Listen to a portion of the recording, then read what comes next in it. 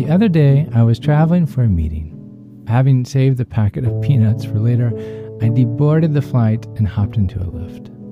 In the car, the driver had a local radio station on, which is great, being that, you know, I kind of like music. But what I heard left me uh, confused, maybe perplexed is the better word. And if I were to take it a step further, I became more and more stressed during this ride to my meeting. I'm not typically one that gets overly stressed. But with each song played, it was just the chorus or the hook or the the most familiar part of the song. And maybe maybe even that was just 60 seconds of each song before it went into another song. But again, just the hook. No introduction, no verse, and definitely no second verse. Just the sing along chorus, and that was it. And just as I would get settled into one song, it would switch again into another. It was kind of like those bite sized samples at Costco where you walk around and nibbling bits and pieces here and there, but all the while knowing there really isn't anything of substance with each one. But then, you know, we go back to the samples after about 20 minutes, thinking that, hey, maybe they don't remember us. Oh, they do. They do. You know they do. Even if they don't say it, you know they're thinking, oh, you again. But going back to the car ride in LA, I couldn't stop thinking about it afterward.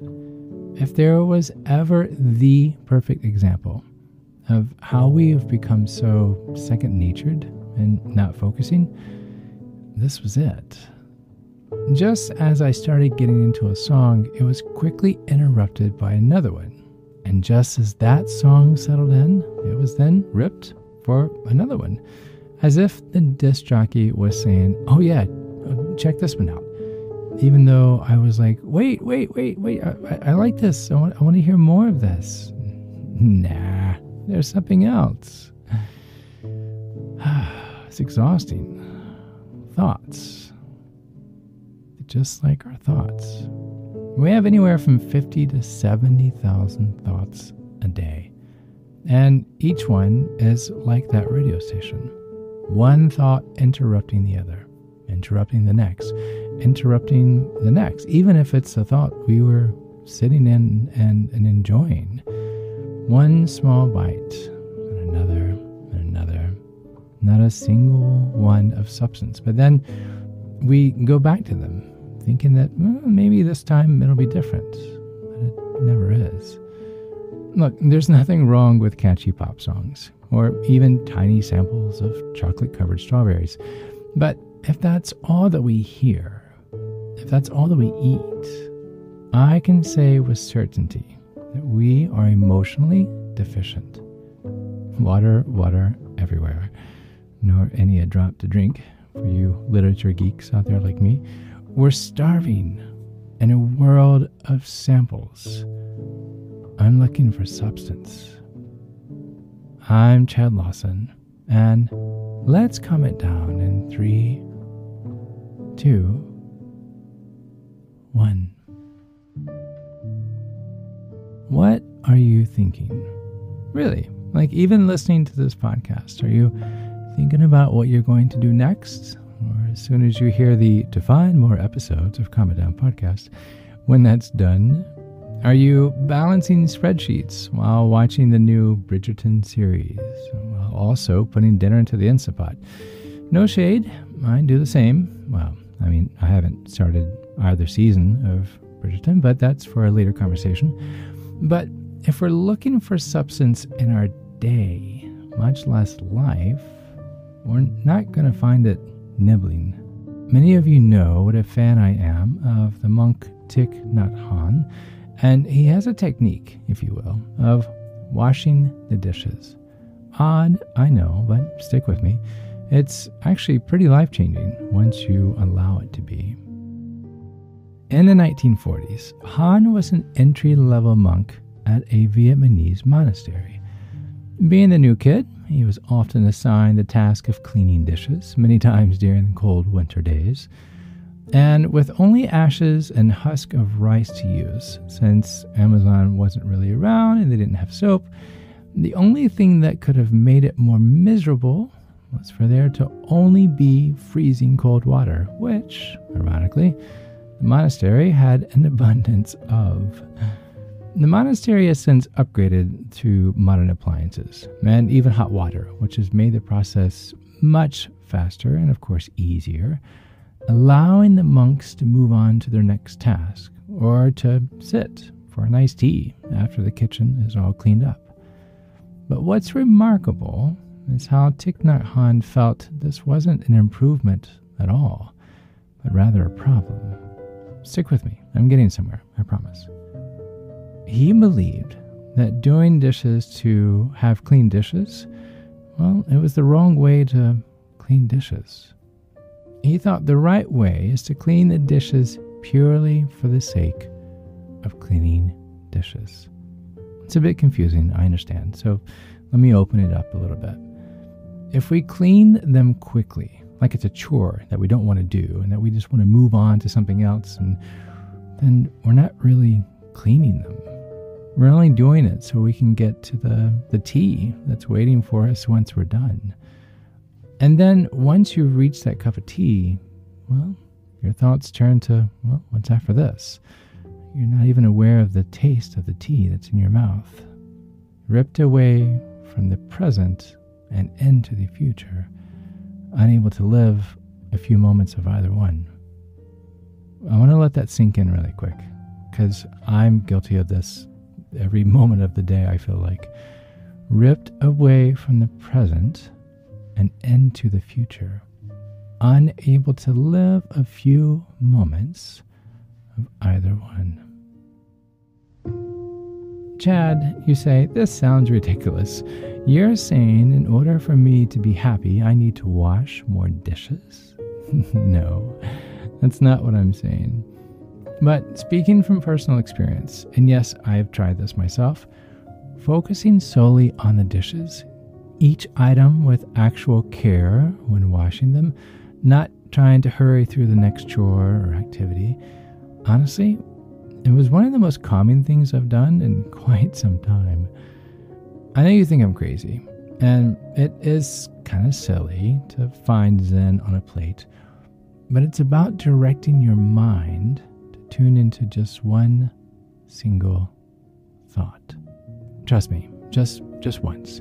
And if, if not over the dishes, try it over something else, like brushing your teeth or cooking a meal, walking from one room to another. Whatever it is that you're doing, be deliberate in your thoughts when you're doing it. When I focused on just the dishes, my mind it wasn't racing. It wasn't stressed. I wasn't sampling the buffet of interruptions. Yeah, it took effort and there were some random thoughts, but I turned my mental spotlight onto the plate and then onto the spoon and then the cup. But here's the fascinating part I've started thinking this way away from the sink. Like when I water my plants, I have this large fiddle leaf fig tree in my studio. I love this tree. And each time I water it, I intentionally notice how the water slowly seeps into the dirt, imagining that the tree is drinking every bit of this nourishment. Or even when I'm taking the midday break to walk our dog, Derby, and going without listening to music or to even a podcast, but just being outside, feeling the sun and hearing the birds my yoga practice has become more focused, my time at the piano more concentrated, and conversations with my wife and kids and friends, it's it's more satisfying. I know this sounds pie in the sky, and I didn't magically land at this happy headspace after a night of scrubbing pans. Of course, I think about tomorrow or what's next on my list. But the practice of centering my mind on what's in front of me has been so freeing. I can't even put it into words. I'm, I'm serious. And, and even creating this episode, I thought it was silly, but I had to share because it's made such a difference. It's allowed me to slow the incessant bombardment of randoms, which has allowed me to enjoy things I've always seen as just mundane, annoying, even.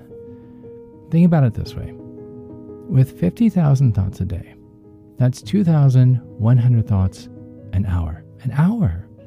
No wonder it is so difficult for us to feel grounded, to focus on our given purpose, or to even know what feeling a certain way about anything, what it is, if we're constantly distracted.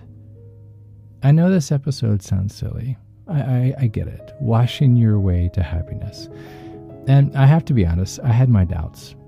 But try it. Just try it. Just once. Once that door opens and your mind has had a taste of something rich, something meaningful, even in its plainness, it'll find more ways, more opportunities, more dishes, if you will. Your mind will seek nurturing moments. I promise you, because it's so good. There's a world of chaos, and it can be incredibly difficult to find peace and fulfillment. There are so many things that it's just vying for our attention, and it can be tough to stay focused on what's important.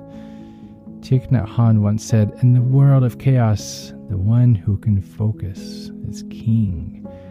And I get it. it it's it, he's so right because it's healing even mentally. Don't waste the present moment by thinking what's next. What you learn at the sink will start to show in life. I'm going to say that again, as silly as it is. What you learn at the sink will start to show in life. Find the focus. Hear the song from start to finish, all the way through. Soak in the substance as you quiet the mind and find peace in the solitude of stillness. Even if that means starting with a dirty dish.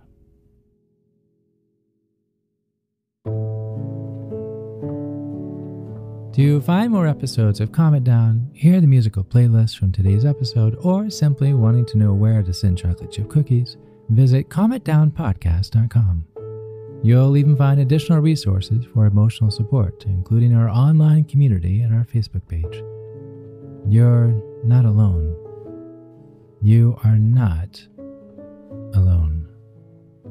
This podcast was written and produced by yours truly, Chad Lawson, composer, pianist, and nationally recognized Sweet Tooth. And now, something my attorney wants me to say.